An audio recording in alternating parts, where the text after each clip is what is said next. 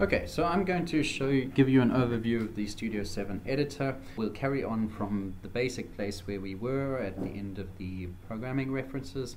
Uh, we'll turn on a LED now, but now when a switch is pressed, First, we start off polled and then introduce pin change interrupts. And this is our basic context to explore suggestion lists and the ways of using these efficiently, enhanced list boxes, how to quickly find enumerated parameters, etc. We're going to use Visual Assist code snippets, um, refactoring code, extracting functions or methods, introducing variables, contextual renaming, and surrounding with regions. But first, we're going to learn some basics about reading code. So we have the ultrasonic distance example open and it's great to have a fairly large project and files open to uh, appreciate um, some of the features of reading code. First of all I'm going to enable map mode on the scroll bar and this enables me to kind of view the code as I'm scrolling. List methods in file. This is very useful for navigating large files. There's another option of doing this as well, and that is Visual Assist Outline. So Visual Assist is basically the Studio editor. It's a plugin to Studio, and here we can have the outline view. Of course, everything that I open, I'm going to go from the quick launch bar, and here I can see um, everything that is in this file.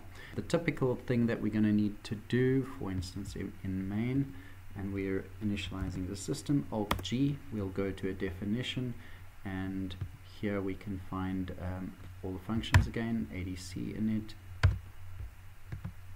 Alt G, and so I'm navigating up and down the levels of the file.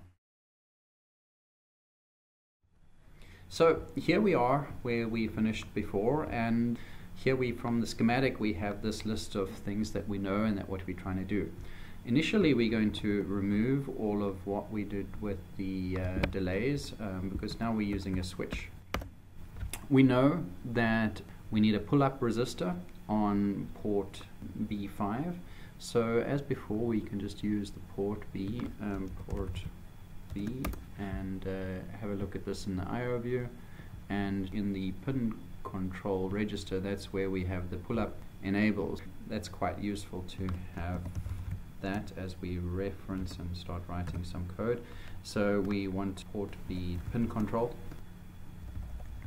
It's pin 5 and it's pull-up enable.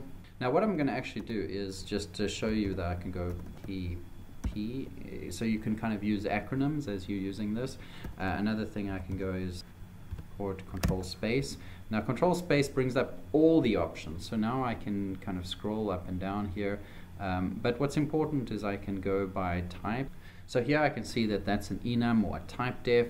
Um, here I can find the actual enumerated parameters, definitions, if I go back, I can get some more options here. Here I can get global variables, and here I can get all the different structures. So we know that it was port pull-up enable, and we can just use that. So continuing to write some code, um, we're going to use the Visual Assist um, snippets. We can go if else.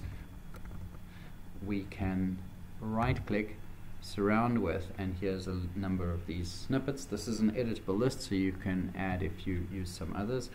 Um, we're going to check that the switch is low.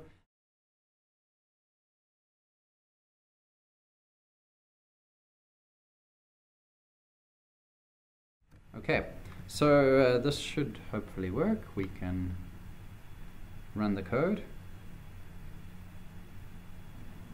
And um, now we can see, well, the LED is coming on when we push the switch. So, code itself is not too readable, so I'd kind of have to introduce a comment. But, of course, comments get out of uh, sync with code, and so you kind of want to avoid comments. And so I can extract a method or a function. I can say LED on, and as I create these, I'm just going to create function definitions for them and then move them to the end.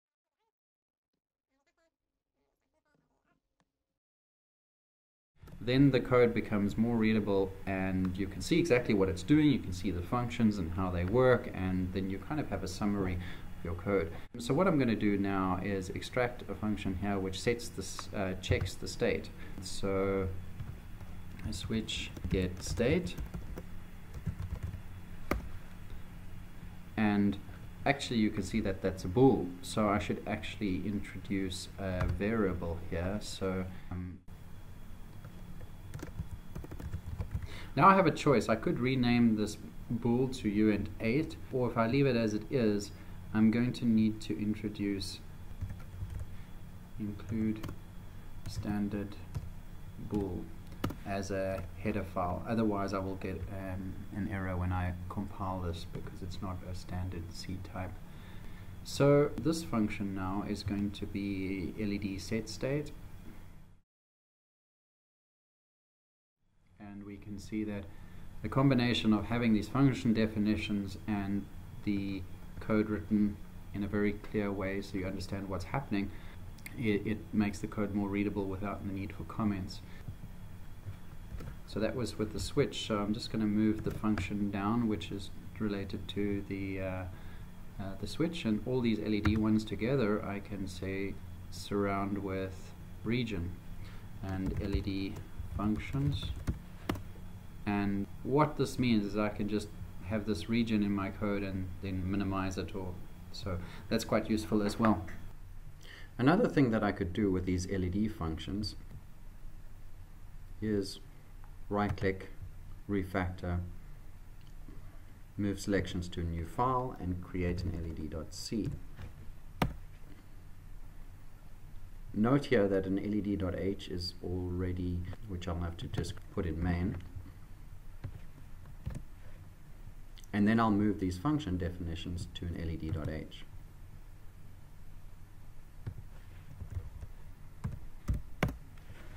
The pragma here ensures that these are not included more than once. Okay, just, just uh, checking on the functionality again. And everything's working as it was. Okay, so now the next step for us is to introduce interrupts. We want to use pin change interrupts here. And I want to go to the user manual, library reference, interrupts, and I can see that the header file is AVR interrupts. Say I must call to enable global interrupts and I notice that the pattern here, all the interrupt vectors are underscore vect. So we're going to keep that in mind. Before we forget, we're going to enable global interrupts. And I need to now also define which kind of interrupt I want. And if I look at the pin control register, there are these groups of different types of interrupts. If I just open the header file, Alt G on something I know is in the header file, I can open the enum of all these different options. Because if I, for instance, go to the register summary of the ADC, for example, I can see that there's a number of enumerated parameters with these group bits. So MuxPos, for instance, again in the header file, I could easily find the enum like that, and I can see this one would be for the analog comparator, and here this would be for the ADC.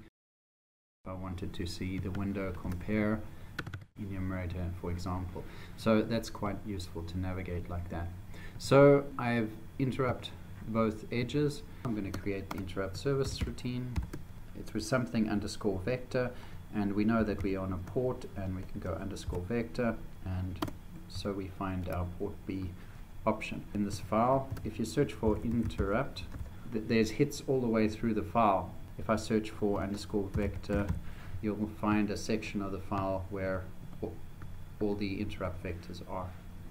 I need to just read out the interrupt flags.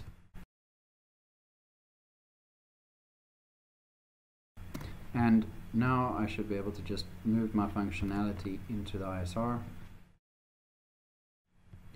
compile and the one difference you'll notice is that now my LED is on at the start whereas um, and that's because before it was immediately getting pulled but now it's only waiting for a pin change interrupt and then it works as soon as I start pushing the button.